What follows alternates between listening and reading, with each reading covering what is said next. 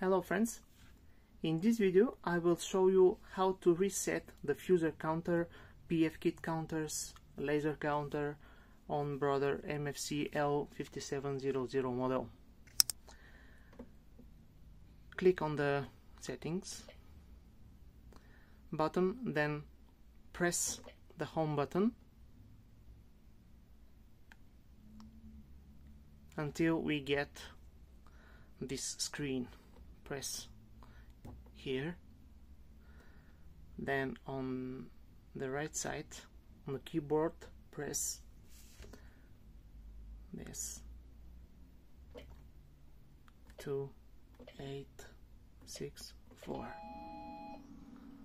And we will enter the maintenance mode. Then press 8 8 and we are in the menu for resetting modules.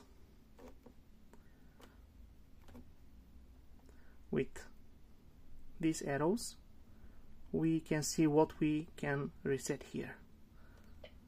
Fuser pfkit pfkit again pfkit lvps laser unit and so on and so on when we want to reset uh, one of these modules.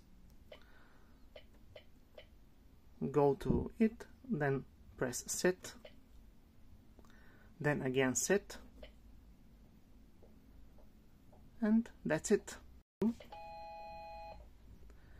Then press 99 to log out and start in a normal mode that's it. Thank you very much and good luck